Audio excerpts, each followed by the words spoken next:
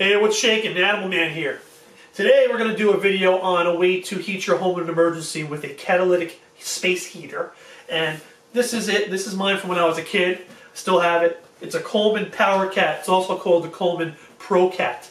And I don't even know if they make this anymore, but you can find similar ones all over the internet and stores everywhere, made by Mr. Heater and some other some other brands also. But they're great because they have a catalytic burner. They don't have a flame, which means it's much, much safer. Burns at a lower temperature than a flame What I think it burns at about 850 degrees Fahrenheit. And it's still enough to burn you or set things on fire, but not as much of a hazard, and the lack of a flame definitely helps. So we're going to talk about how to keep it safe later on. For now, I'm going to show you how to use this. I'm going to take it out of the box here. This is a 3000 BTU burner which, I mean, it's not going to replace your, your radiator, but I mean, it's, it's not bad either. And this is not going to heat your whole home. It's going to heat one room of your home. So if there's an emergency, power's out, you have no heat, you put blankets, you thumbtack or nail blankets up in the hallway, you know, to cover the doors or whatever, and keep all the heat in one area, probably your living room or your den, where everyone's going to want to hang out together where it's comfortable.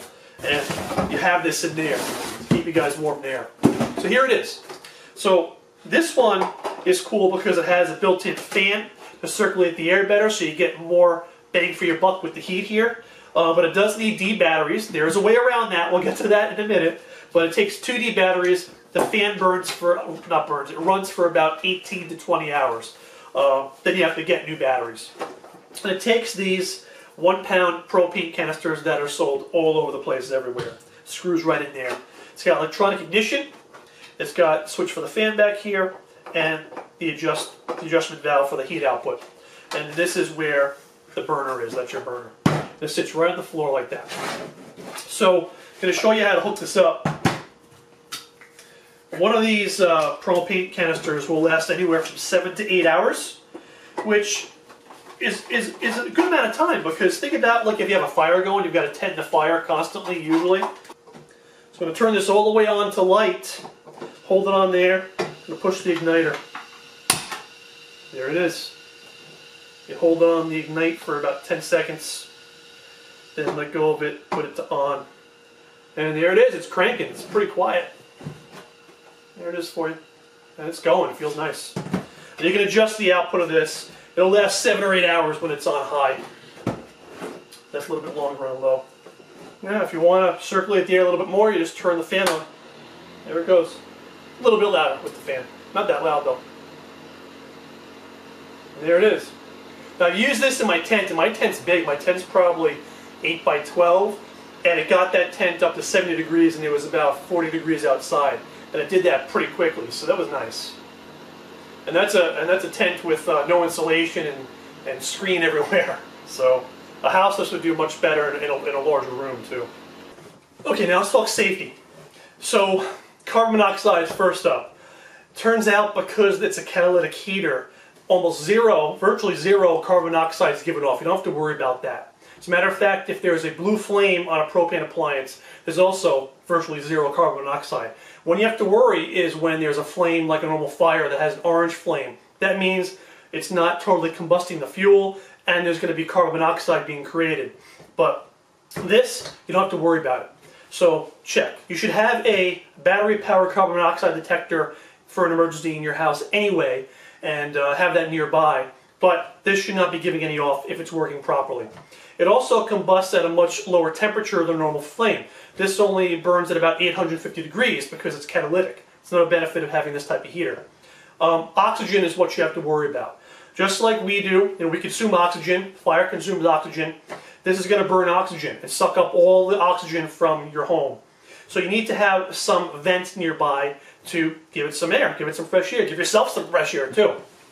If you're in an emergency in the winter where you're trying to keep the house warm, what you would want to do is take an area like the living room or the den where everybody likes to hang out and there's lots of room, and you would hang um, blankets or sleeping bags or whatever you have, comforters, you know, with thumbtacks or nail them to the hallways put them over the doors, whatever, to keep all the air in this area. Just heat this area where you guys are.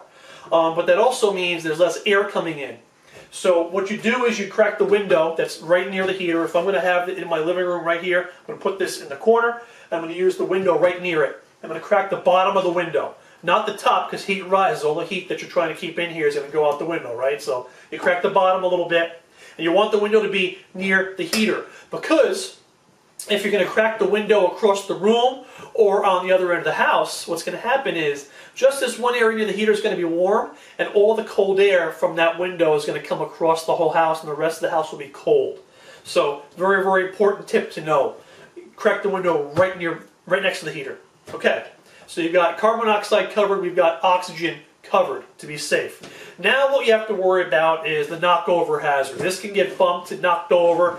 If your whole family's hanging out in the living room together, there's a lot going on. If, you're, if you have a dog or a cat or whatever, they're going to be playing in here too, hanging out. These can get bumped, knocked over. That's a fire hazard. Or they can get smushed, you know, bumped and smushed up against things like the couch or sleeping bags or whatever. And those can get set on fire or at least melted. And in an emergency, there might not be first responders available. If there's a blizzard, two feet of snow, no ambulance is going to get here. Fire department's not going to get here. So you have to be a lot more careful in these situations. So here's an idea that I came up with that's awesome to make this a lot safer. It's not going to have anything coming near it. It's not going to get um, knocked over. Let me show you this. I use a dog kennel. Tons of people I know have these. It's a fold-up dog crate. And people keep them in the closet, in the back room. I keep this in my attic. And it just folds out. It's going to be loud for a second, I'm sorry. It folds out. Here's the front. It just pops into place. Pops into place. You can get these at any pet shop, but also they're at yard sales. I see them at yard sales all the time. And um, here's the front door. It's got a plastic tray that's removable. It's got a little door down here.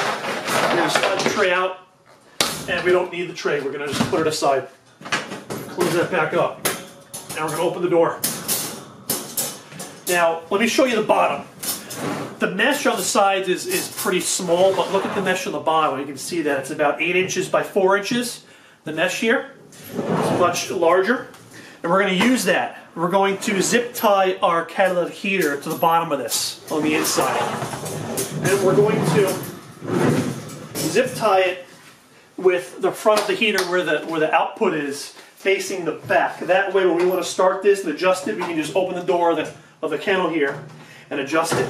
This is going to be tricky for me to do on camera with one hand holding this up by myself, but I'm going to try to do it.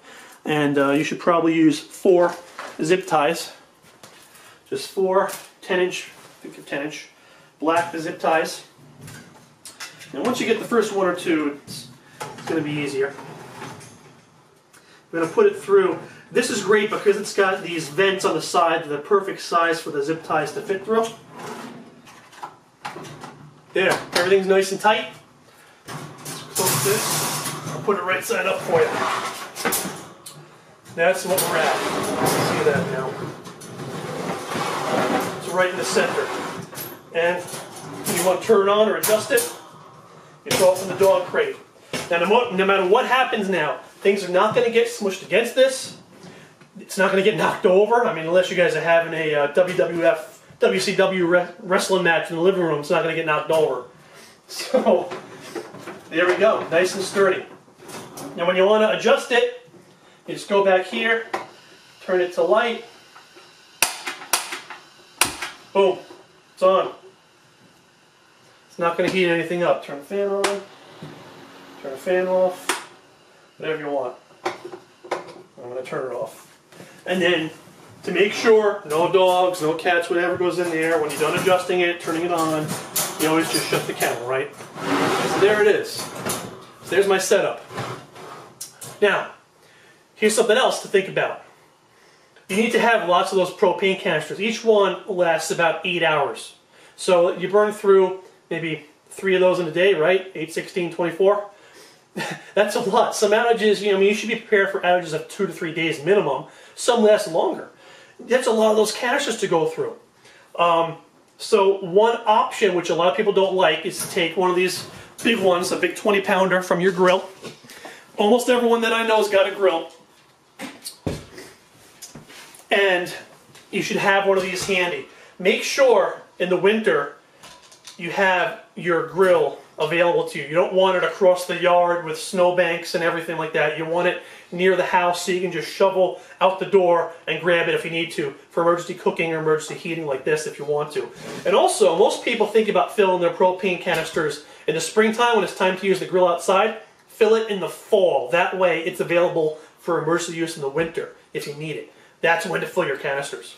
So the way to use one of these with this is with an adapter hose. I think you can buy one of these for like 20 bucks.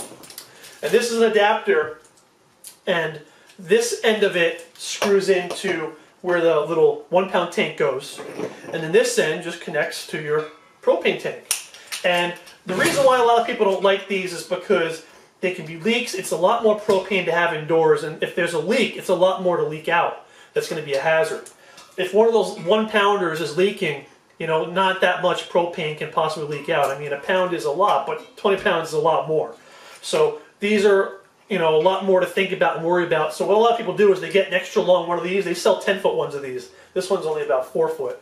But they sell 10 foot ones, and people will have the tank out in their screen porch or in the dormer of their house or something like that, um, the entranceway to their house. So it's not in the main house, and they'll just have the hose running through, and they'll shove, you know, insulation or or towels in the crack of the door. Just have the hose going through, and the heater will be inside the house. So that's one way to do it too. This is also good to have. They sell gas gauges for these that screw on if they can get these for like 10 bucks at any hardware store, sporting goods store, or on Amazon probably.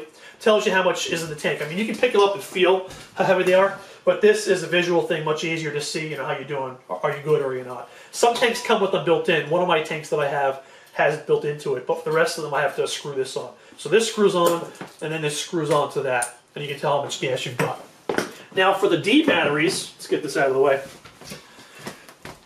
The D batteries last 18 to 20 hours, which is a lot longer than the propane one pound tank lasts. But eventually you're going to run out, and if it's a longer outage, you're going to go start burning through batteries. So you might want to get rechargeable Ds, or have adapters. There is a plug on the bottom of that, and this will plug into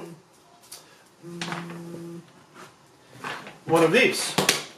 And uh, they sell these on the internet, but I made these by splicing things together. I keep all my old cell phone cords, cords for everything. I have a whole Rubbermaid bin of them at my workshop. So this one fits the jack on the bottom of this. This is for a 12 volt cigarette lighter socket for the car. This one is for a wall, a wall plug. And I think it's 3 volt. Yeah, it's 2D, so it's 3 volts. I don't have to look, 3 volts.